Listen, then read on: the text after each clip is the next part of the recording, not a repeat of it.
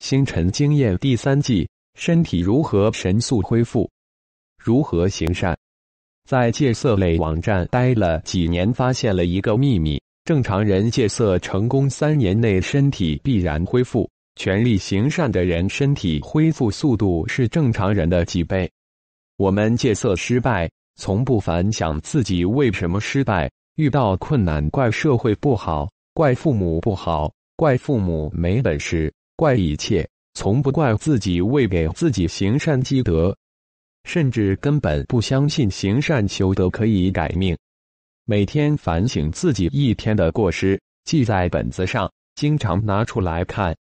我们要改过，要反省。反省自己身上还有那些不足，然后逐一去改，一点一滴的去改变，日积月累就会真正的改变。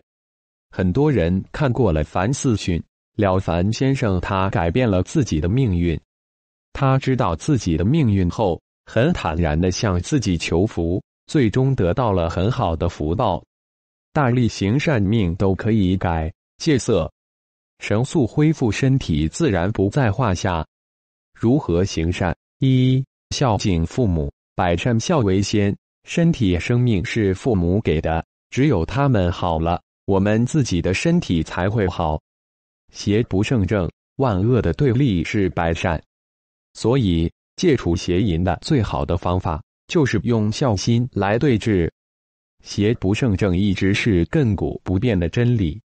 二。QQ 空间正能量风暴，我 QQ 空间的日志说说分三类：孝敬父母、修心养性、养生。不用顾忌什么，只有这三类，不会暴露你们 side 的，可放心转发。大家加我 QQ 四亿七千八百二十七万三千二百零四，把我空间的日志转发到你们的空间，你们的家人朋友看到了，也许也会转。加上我长期贴吧置顶贴宣传，不断滚雪球，引发正能量风暴，帮助全中国人、全球人、全把人一起人杀一个人，每个人都是杀一个人的罪。全把人一起转发正能量日志救人，每个人都得到的是所有人的功德。所以正能量风暴，希望大家积极参加。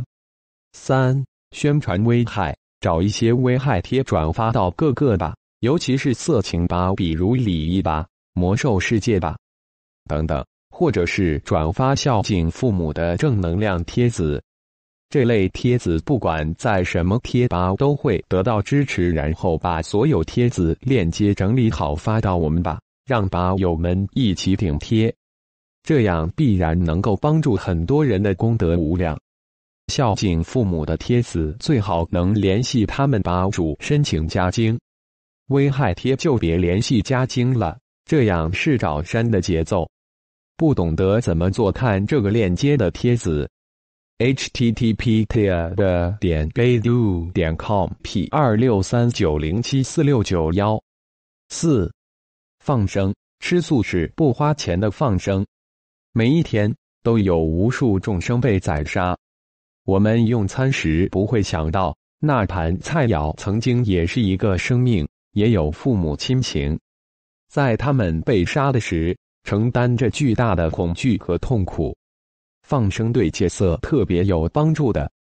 放生其实很简单，就是直接去菜市场买两条鱼，然后踩着自行车跑到湖边去放了。虽然这个过程很简单。但是在你真正去做的时候，你会发现内心会变得很平静、祥和，心里面有些事情也突然就想开了，事情也会像你想的那样去发展。其实这个变化还是要多去生活中观察，自然就会发现放生的好处。放生就是救那些被擒、被抓、将被宰杀、命在垂危的的命，而最宝贵的就是自己的生命。救他们的命，他们感激最深，所以功德至大。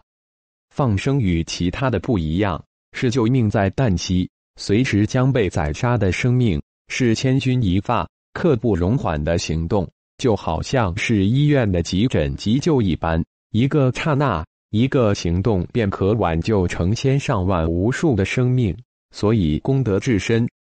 种瓜得瓜，种豆得豆。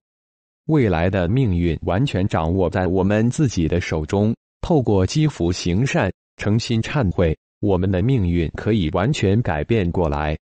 而放生的功德最大，既直接又快速。放生就是延寿，每个人都希望长寿。放生救赎生命，延长了无数众生的生命，也必然同时延长了自己的寿命。这是必然不变的真理。放生就是福善，救人一命胜造七层浮屠，而每一条生命都是平等珍贵的，所以救一生命功德已无量无边，更何况救众多生命？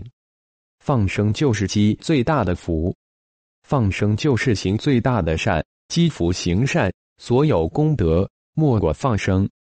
五、转发戒色资料，善书。整理各种戒色资料，了凡四训等善书发给吧友。我曾经就做过，每天几百人问我要资料，我一个个发到他们邮箱，也可以上传到网盘叫大家下载。这两种方法最好同时做，因为下载的帖子很少有人顶贴，发邮箱的帖子在戒色吧，每天最少几百个人会顶贴。问你要资料。六积大阴德，看到所有的公用厕所、超市、医院、酒店、KTV 等等墙壁上有找小姐等淫秽广告，各种那种药的广告，及买卖枪支等暴力器材，严重影响社会环境，容易把大家带入歧途，更是容易影响小朋友的身心健康。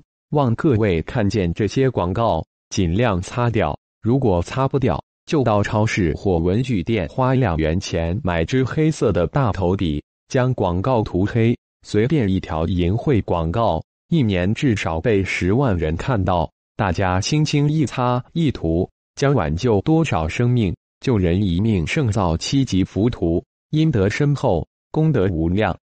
感恩各位，在网吧。大学院校的厕所、公告栏等等地方贴戒撸塞后遗症治疗戒色女子戒色把宣传单，这个必然帮助全网吧全校人功德无量的。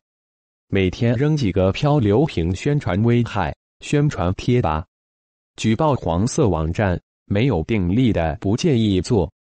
七帮助吧友鼓励吧友。菜鸟鼓励吧友，告诉他多看精品帖子，或者多顶精品帖子，这样一个人看到就可以帮助一个人。大师级别开贴解答问题，这样一天一个小时，基本可以解答近百问题。大神级别这个时候就很厉害了，写一篇超级精品贴就可以帮助千万人了。这样一件善事，足顶万件善事。更高级别行善去恶，永无止境。比如佛陀、孔子，永远影响后世。我们差得远呢。像佛陀、孔子学习，万不可起傲慢心。戒色如逆水行舟，不进则破戒。我深信因果，你帮助无数人，给他们方法戒色，帮助他们恢复身体。没理由你自己的身体不好，这是必然的因果。我自己就是个例子，邪淫十年症状有：一块肉死了，手术台开刀割过四次，没用麻药；失眠，晚上睡不着；视力严重下降；颈椎病；骨头疼；便秘；腹泻；大便臭；尿频；尿无力；尿等待。尿刺疼，怕冷，脚臭，口臭，头晕头疼，四肢无力，腰疼腿疼，抑郁症，严重疑心病，自卑，猥琐，等等，大家的症状我基本都有，应该很严重了。行善八个月左右，身体恢复了巅峰，没有吃药的，我只做了点皮毛，身体就神速恢复了。本人不怎么爱运动，每天散步一个小时，行善，早睡早起，平衡三餐恢复的。行善是主要的，其他都是辅助的，并且我工作、家庭各方面都特别好了。在星辰经验第一季身体恢复巅峰的体悟写过，就不详述了。孝敬父母，行善去恶，做到这八个字，戒色必然成功，身体必然神速恢复。行动吧！